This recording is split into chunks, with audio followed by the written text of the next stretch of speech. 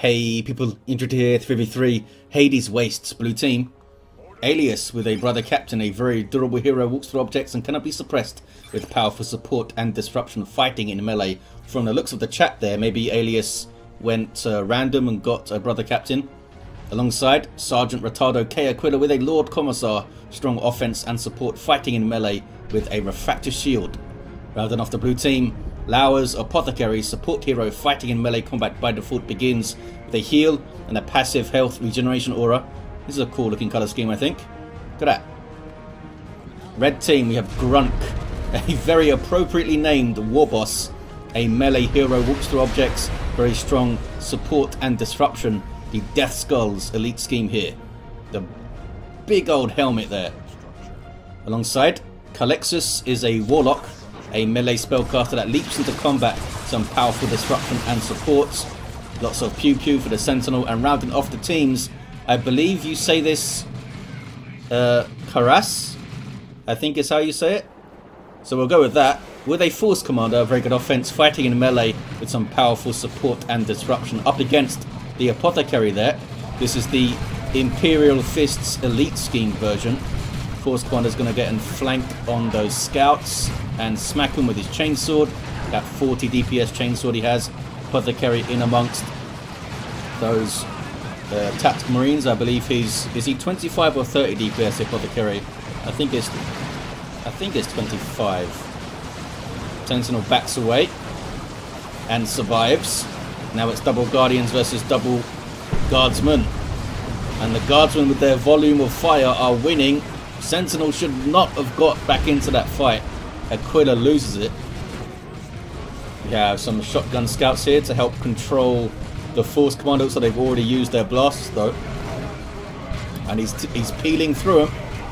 They got very low there. He maybe should have chased to get one more hit, I think. Apothecary heals himself, but needs to be careful. Has some support from the guardsman now. Apothecary, one hit point Apothecary does get away. Sanguine Chainsword is coming. Got a big chunk of XP because these tax marines just dropped a model and another model. Did that level him? No, he's getting little bit of, little bits of XP here because he damaged these units, and then when they eventually die, you get a portion of the XP. Uh oh, Warlock with the immolate on the blob of double guardsmen there. Did he not Destructor afterwards? Maybe he needs to be level 2 to do that, or level 3 or something. West side. Orks running away. We have sluggers with burners. They do have the VP though. Purgation squad up for Alias. And they have the double shooters still in play. In the center, Warlock gonna grab the req point. I think they should be shifting over to support the west side. I think the contested VP's here. Always got to have your eye on the contested VP when you're the central player. I mean, obviously you want to try and support both sides, but the contested VP is where the action is, where games are won generally.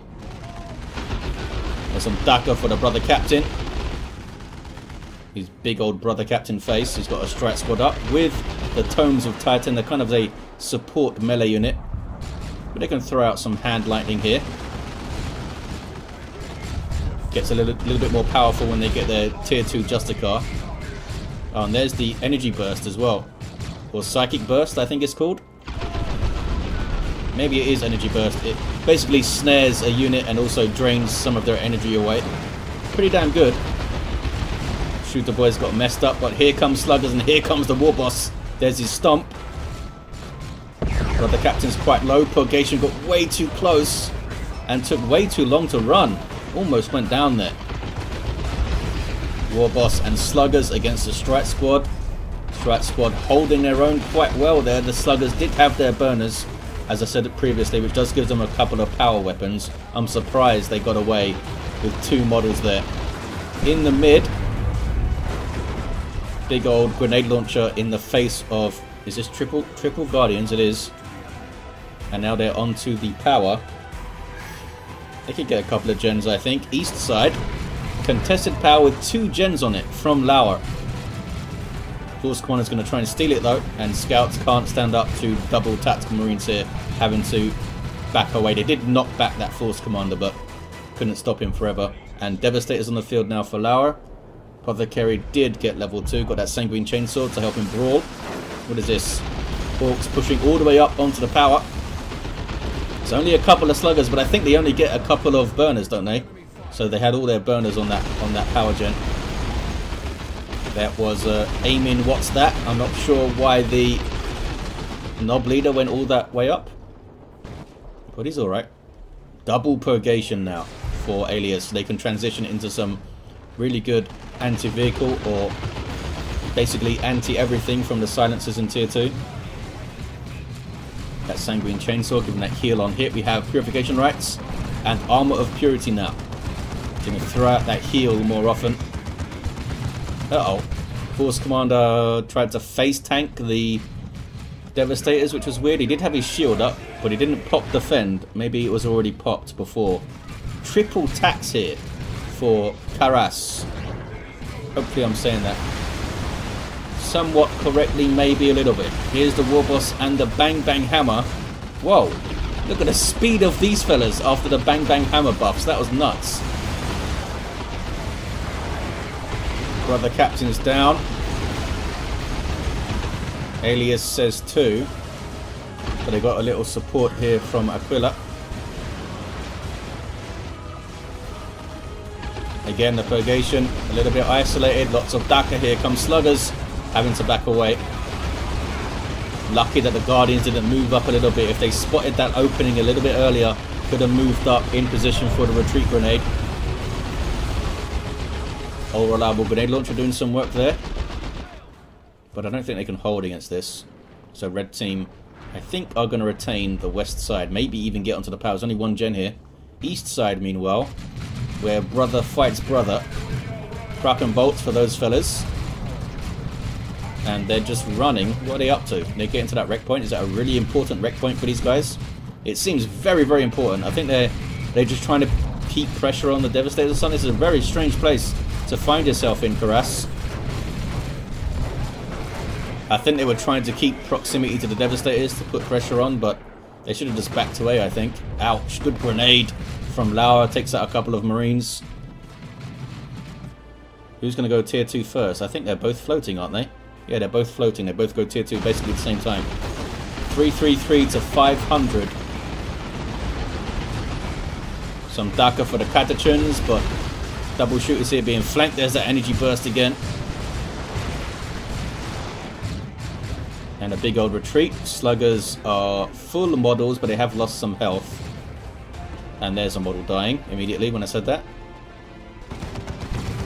Devastators. Force Commander's going for them with his defend up from the Chainsword and Storm Shield. This is not a good idea, Karas.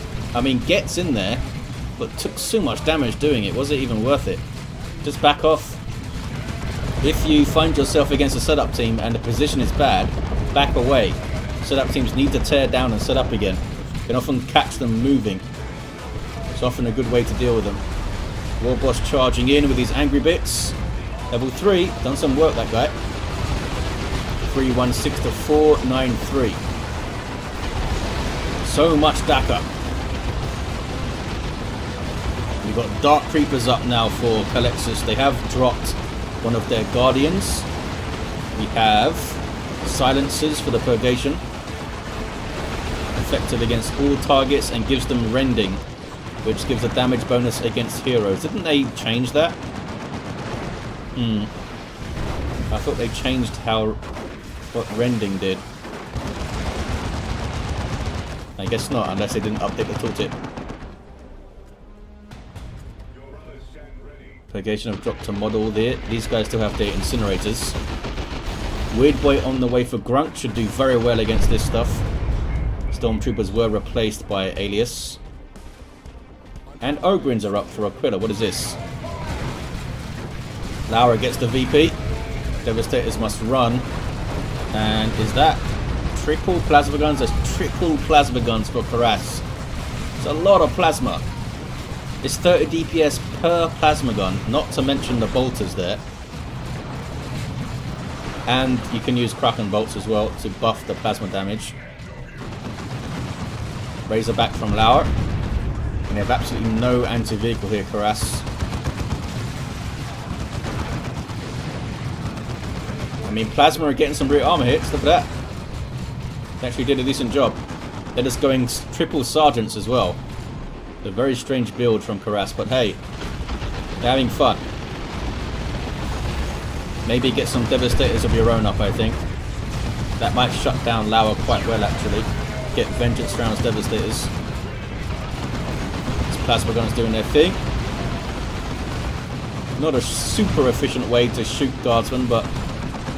I mean, in terms of cost. But they don't like Plasma either, it turns out. Fire Dragons on the way for Culexus. Power Bash here with Plasma. They are going to take some damage from that heavy bolter of the Razorback. They didn't quite get the power bash there on that generator. What are these guys doing? Shoot the gens, fellas. Orks marauding through the Ordo Malleus lines with a friendly Warlock in tow, who's got a warp throw. Red team retake the west side, 316 to 344. These guys are bashing now. They're bashed way slower now since the uh, the damage to generators was low. Look how slow that is for for three incinerators. I guess maybe it was uh, brought in line with like a tactical marine flamer or something. It it feels even slower than that though. I'm not sure if it is. Pushing up is Laura with the Razorback. Ogryns will appreciate the Razorback as well a lot. They can reinforce off it. Scouts thinking hard about the cap. Nope. Apothecary is going to do the decapping, it looks like. Scouts are going to repair. And they're on the power here. Tier 3 for Aquila. Fire Dragon's looking to get onto the Razorback, but there's an awful lot of stuff in the way. Warp Throw. Warboss charges in. Also gives him a damage bonus and a health regen bonus. It's a good grenade. Oh, would have been good if it was a little bit further forward. Fire Dragons are shooting at what they can see for now. War Boss is in there, having to retreat now, but did create a little bit of space. Beamy Death Gun might get a shot here. Oh, look at that damage. Weird Boy could also get a shot. Yes, and here comes the Force Commander with a Power Fist. It's going to be enough. Down it goes. And here comes all that plasma. And the zap thrown in too. Power Fist versus Sanguine Chainsaw. There's not a good fight for the Apothecary. Oh, might go down actually. Yes, does go down. Force Commander gets to level 2. And the attacks are starting to get the XP as well. Level 2, level 2. And I think the other one's level 1. Yeah. Blue team taking the west side. We have a Plasma Cannon Grey Knight Dreadnought. But the captain with the unending purge. And red team are going to get straight onto the VP. Maybe they can go onto the power too. Sluggers are already here. Uh-oh. Plasma cannon hit him. Need to run, fellas. And this is a pretty effective blob cap. Karas may be a newer player here. Based on their build and this kind of behavior. But they're holding their own. They are holding their own. Are they going to get suppressed? Nope, they backed away. 280 to 310. West side. War Boss is kicking a power node. There we go. Use your hammer. It's being built and he's very angry about this. Very angry. I think you still get the bang bang buff if you smack a generator. I think you do. Here comes a brother captain in amongst the shooters. They couldn't suppress him, of course. It's a big fella. War Boss gets the stomp and runs. Good thing he ran too, because that plasma cannon came in there. Brother Captain is persuaded to leave. They do have the beamy for that dreadnought, of course. Kicking off on the east side. Big retreat from Karas. Fire Dragons and Dark Reapers pouring some damage on the tactical marines. They have double plasma as well, Laur. All the plasma. Ogryn's getting in there. Dark Reapers should do good damage to them. Very close to dropping the model of their own though. And blue team are straight back onto that VP. And they still have the west side, 272 to 289. Slight VP lead for red. They had the contested VP for a bit longer, I think. But Eldar a little bit overwhelmed. Here come the, well, two of the attacks. Where's the other one? Still at base. Scouts are still at base too. Force Commander's way ahead of everything else. Just isolating himself here. And this is what happens. Look at the damage. Got a teleporter pack, of course. Ogryn's getting in on the Tactical Marines. Mass retreat. These guys still idle. Yeah, he's a, he's a new player, I think, Karas. A Power Claw War Boss. Heavy armor on the way. It's going to have almost 2,000 hit points all of a sudden. Look at that. 900 hit points from the heavy armor. Smack. I think it should change his appearance way more than it does. The heavy armor. I don't think if it, I don't know if it does anything actually. 272 to 228. Still the 2 to 1 for blue, but they're getting some some power bashing done, the red team here. Thanks to Grunk, who Grunk has done quite well on this side. Infiltrated Beamy. Shoot the Dreadnought, do this right there. There we go. One shot. Two shots. One more shot will do it. But the strike squad get onto them. So close. So very close. I guess the war boss couldn't get in there, eh? Yeah, it was a little bit too low. Very, very close. But the captain getting that heal on hit from the unending purge and Holy Armor of Titan is in. So we can go all invulnerable, there it is. Or immortal, I think they call it. Yeah. Get stunned though.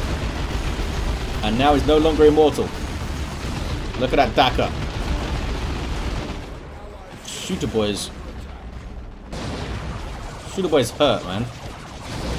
Blue team have had this power for a while, I think. Force commander's capping here. His marines just kind of huddled around him. Now they have to fight a tank. How are you going to manage that? They got a tank of their own on the way. There we go. They will still have the power fist as well. Oh, there's armor of the Apothecarion now for Laur. Level 3 Apothecary, 262 to 207. Aquila gets in there. And almost instantly goes down. Bloody hell, there's a lot of damage on that Lord Commissar. Fire Dragons on the tank did some good work. But Ogryns are on them. Where are they? Oh, they're attacking the Warlock. Ogryns definitely should have been on the Fire Dragons there, I think. They might still go down. Yeah, Fire Dragons went down. That was not the time to try and push against the tank. A little bit more caution there. Fire Prism is up though for Culexus and Laur. Had a bit of a rough fight. Down, down to double tacs, but does have a Land Raider on the way. And Karas has a Predator tank. Force Commander did fall. I guess they went after the tank as well, eh? Should get a revive from there though. Where's that Warlock? Warlock is healing up, coming out of base now. Meanwhile, west side, we got a Nob squad on the field for Grunk. And there's a Rocks. Some good hits.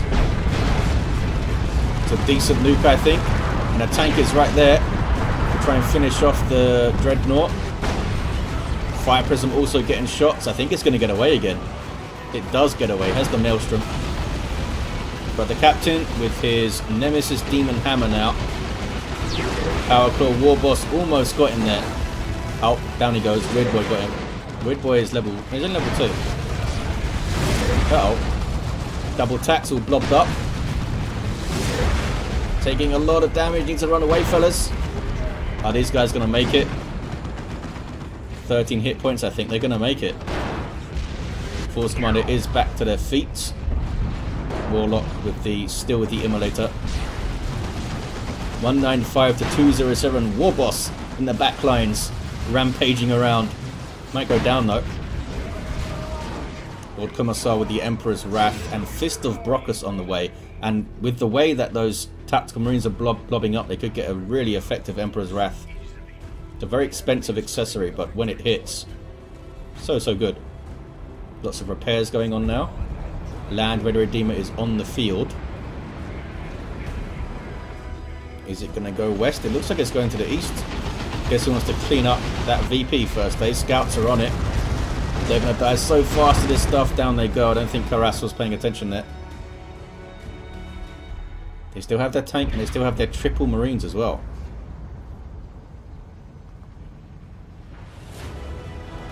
Surprised that Laur hasn't replaced their Devastators or something. Oh, they've got Plasma Cannon on the way. I suppose they're worried about the Force Commander just teleporting on the Devastators. Pushing all the way up to the VP. And there's None Shall Fall from the Commissar. Also has Flak Jacket now. Predator tank is chasing a Leman Russ. Don't think you want to chase a Vanquisher Leman Russ, buddy.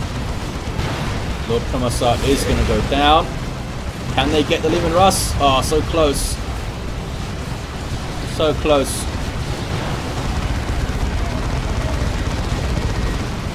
A line of tactical marines are throwing some decent damage out. There's an Eldritch. Land Raider dodged it though. Through sheer luck, I think. Kind of just moving forward there. Avatar on the way for Culexus.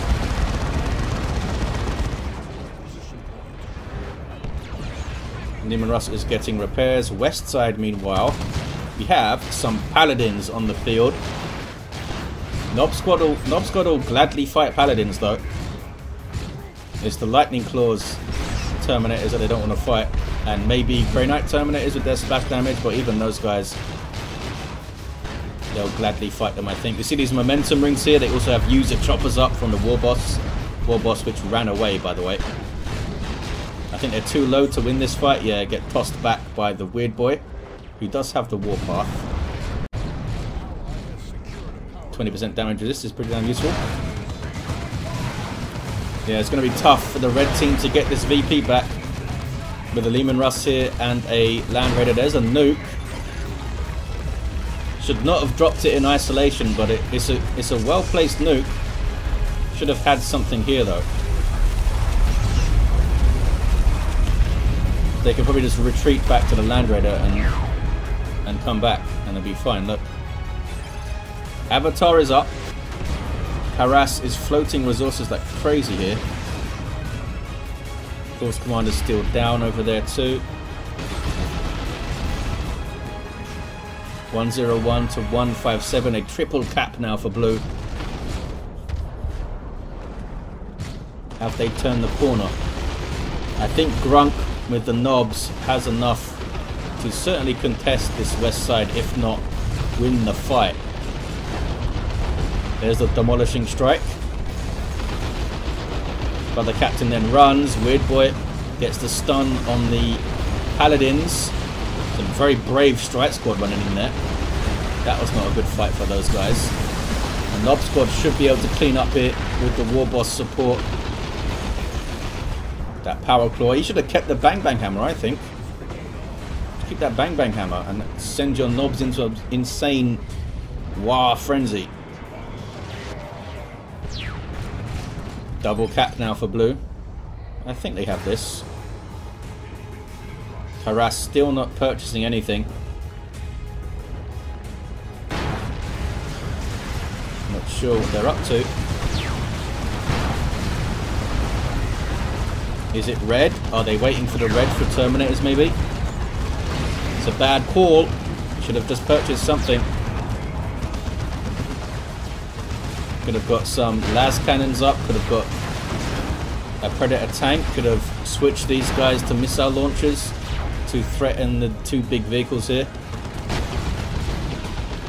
Orks take the west side though. Paladin's going to be chased back.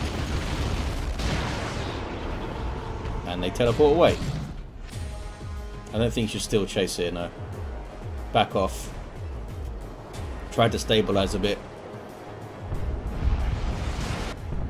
Can I select the Nob squad? I can't. There we go. Maybe even retreat the Nobs off quickly to get them reinforced. 101 to 35. He could just use a Calder Boys maybe. Or maybe not. Looted tank on the way now. Need a fair amount of requisition for Calder Boys, I think. Power bashing. Late game power bashing. You love to see it. Move in, says Grunk. Yeah. I mean, I need the VP back, that's for sure. Got some really speedy tactical marines. This must be swift movement from the Warlock. They're going for the VP. They might get a decap.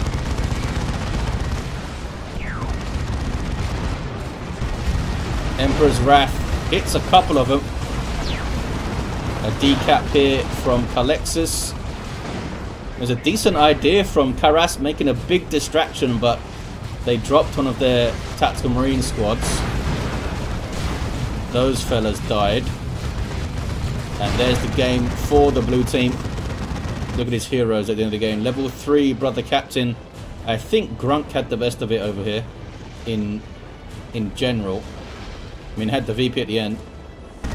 Aquila with a level 5 Commissar, level 6 Apothecary for Laur, level 6 War Boss, a level 5 Warlock, and Karas did have a Land Raider on the way, but that was way too late. I think they were a newer player, but they held their own against some experienced players on the blue team.